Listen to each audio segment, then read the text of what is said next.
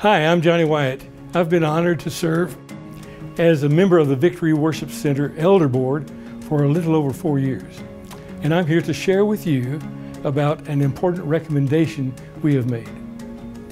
As elders, we know that you want an uplifting, life giving, spirit enriching worship experience every Sunday when you attend a service here at Victory, either in person or online. As elders, we want and need the same thing. We know that requires high levels of spiritual, mental, physical energy and creativity from a large team of wonderful people who lead us every week, especially of our pastor who leads us all. We all know that proper rest must be part of the plan to sustain this level of spiritual, mental, physical energy and creativity. I remember when I was in college, someone said to me, Johnny, sometimes the most spiritual thing you can do is take a nap. Well, your elders have studied Scripture, also the practice of other large churches, to understand what is needed in order to support this high level of ministry over the long haul. It's not a new idea, but we believe it's the right idea for victory at this time. You might call it pastoral sabbatical. The purpose is deep rest every few years. We believe Pastor Waylon and Dana are well overdue. They have served us holding nothing back for over 16 years. I have practical experience with pastoral sabbatical. For a number of years, I served at the executive staff level in large churches, one of which used this approach. I know from personal experience it works. Our study of other large churches that incorporate this practice profoundly supports this idea also. It's as they say, in every way a win-win for both the pastor and us, the church. Your elders wholeheartedly recommend it. We ask that you join us in prayer for their season of rest. Pastor Waylon is going to tell you how we're going to do this. I want to begin by saying uh, we are deeply grateful uh, to the elders of this church who, uh, who steward, help us steward our lives well. And uh, they, they came to me probably about a year ago and said, Pastor, we, we think you need to consider taking a, a sabbatical some And uh, you've been 16 years in ministry here on staff and uh, 30 years in ministry and, and don't know that we've ever taken this sort of, this sort of a leave or a sabbatical. I know some might be asking the question, well, what's a sabbatical and how do I get one? And, uh, and uh, become a pastor and have your elders recommend you do it. And so, but really, what it is, is I think Johnny said it so well. It is a season that is dedicated to deep rest. It is disconnecting from the day to day, the responsibilities of pastoring. You know, I often think I never understood this until I sat in this position. And, and so I sat as a staff member for 30 years in churches. I've served great churches, effective churches, powerful churches, powerful men of God and, uh, and have loved every minute of it and still do. And, uh, but I never really understood this verse that Paul talks about in Scripture. If you ever go to the Scripture where Paul talks about all of the hardships that he faced, he said, You know, I've been shipwrecked, I've been beaten, I've been this, I've been that. And he goes through this list of things that he's gone through in ministry.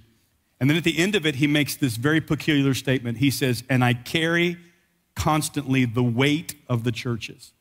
I never understood that until I stepped in the role of senior pastor that ministry, especially at this level, is I had one of my overseers explain it to me this way. He said, Waylon, ministry, senior pastoring is like putting on a 200 pound vest that you never take off. That you go to sleep with it, you wake up with it. You go on vacation. You need to understand just about every vacation of the last probably 16 years, you have gone with me on vacation and you're like, well, I don't remember it. Well, this because you weren't there physically. But as a pastor, I, I, again, I'm not, I'm not bemoaning what I do. I'm grateful for what I do. There's a grace for what I do. Um, I could not do it except for the grace of God. But I'm going to tell you, you know, you think about the, the work that we go through, but then you add the spiritual component to what you carry and you wrestle against. You know, I've heard a person say to me, and this has widely been documented, that preaching a 30 minute service is like, is like an eight mile hike. And so y'all know how long I preach. And so, like, I'm, And uh, I'm just trying to get my exercise in. But the, the reality is this I don't say any of that to, to gather sympathy because I, I really don't need sympathy. I, I just need the grace of God and grace from you as well. To understand that I'm human and I'm just like you, my wife, we're human. And so uh, there's a couple of things, you know, how's this going to work? Well, uh, we're going to be here next week, will be our last, I should say our last, I hate saying that. It'll be the last before we take sabbatical. It's not our last service. Uh, next week, and I'm actually going to take this, this Sunday and preach on rest.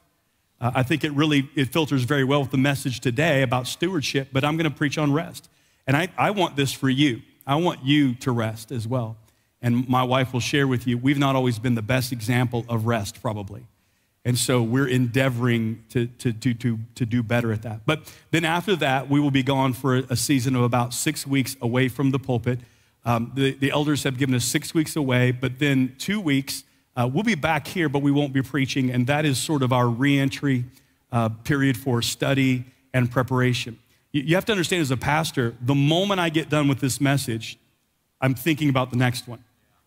It's just the way it works. You, you, don't like, oh, I'll just wait till Friday and figure it out. You literally are constantly, and you should be glad I don't do that, by the way. But, but, but literally, the moment, I mean, in, uh, the moment that you stop, it's like, okay, we, we're, we're back on the, on the treadmill again to get going for next week.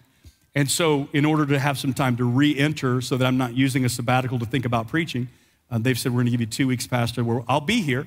Uh, my wife will be here uh, but, but we're going to allow others to minister. Now, let me say this to you. Part of our big consideration in this decision was you.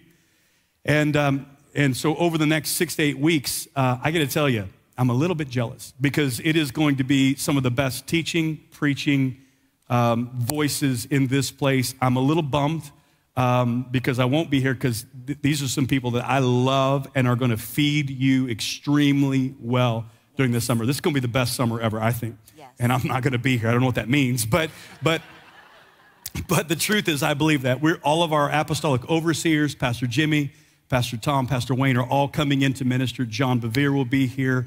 Uh, Rabbi Jason Sobel, uh, if you know him, he's amazing.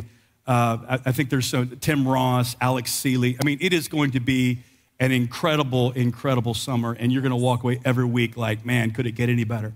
And we, we built it that way on purpose, purpose because we really want you to be fed and cared for well uh, while we're resting. And so uh, we've, we've, we've covered that aspect of it. It's going to be an amazing time. Um, honestly, the whole um, the whole concept of us taking a break has been difficult. Um, and and honestly, the Lord kind of um, chastised me, I won't say he chastised you, um, about whose church is this really? Do yeah. you have to be here for these people to be cared for well? Yeah. And we don't because it is the Lord's church. Yeah. And we are faithful to do what he asks us to do.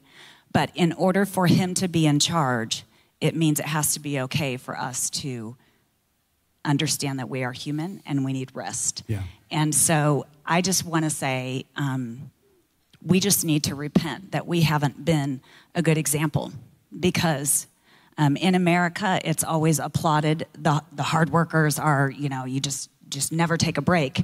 And um, that really puts us on the throne instead of Jesus being yeah. on the throne and saying, You're in control. And if I'll do what you've asked me to do, you're going to bless what I can do in a shorter amount of time because I'm giving myself space for rest, you'll bless it more than if I'm if I'm doing it all in my own power. But we love you so much. And we would just ask that you be praying for us, just like we're going to be praying for you. Um, we're going to try not to think about you all the time. But when I'm in prayer, I think the Lord's okay with me still, yeah. still praying we'll for, you. for you. We are not going to think about you any more than we have to. Um, that's the whole point. And uh, don't, don't be offended by that because uh, we will be praying for you. And uh, it's going to be an amazing season. There is something I would ask of you as your pastor in this season. Just very simply, I want you to, you know, sometimes um, there's more questions. We've actually posted some, some frequently asked questions on our website. Um, don't go there right now because I'm about to preach a great message to you, okay? But if you have questions about what does this look like, is there, you know, is there a problem? And And uh, it's really, you can get all those answers. None of that's the issue whatsoever. This is simply just something the Lord has been leading us into for, for quite some time. You remember we did churches that heal. And uh, sometimes what you need is time, you know, grace and truth. You need space and just rest. And, uh, and so part of what it is is that we've been talking about health. And so we, we want to model health. We want to live healthy. We want you to be healthy. And, uh, and so that's what we desire for you. So if you have those questions, they're more available. But I want to ask you this I'm going to ask you to be faithful in your attendance, faithful in your giving through this season. Uh, realize that what I realize is the church is not about me. It is ultimately, as my wife said so well, it's Jesus' church. Yes. And these are great moments. You're, you're going to be amazed. You know, I was reading yesterday um, a book called Sacred Rest. I've been reading a lot on rest. I've been studying rest. That feels like an oxymoron, but but sometimes when you're this A type, eight personality, like that's the hardest thing to do is just disconnect and rest. And uh, one of the things that, it, that my wife said it, a Sabbath demands faith. You have to engage in faith and say, I trust you, God. And you know what? I just settled it that moment. I said, Lord, I trust you. I really have a complete peace. I trust you that in these next number of weeks, you're going to meet us in a powerful way. Our, our family is going to have an incredible time of just connecting together at a deeper level but you're going to meet everybody in this church in a powerful way that you wouldn't if we weren't willing to obey you this way. And so I want to just encourage you to be faithful in your giving and, and in your attendance and your serving. We love you and appreciate you. And uh, look forward. We'll be here one more week, and then we're going to be out for that season. And we're going to come back like guns blazing, yo. It's going to be crazy, okay? So we love you. Thank you guys so much. Thanks, baby. Appreciate that.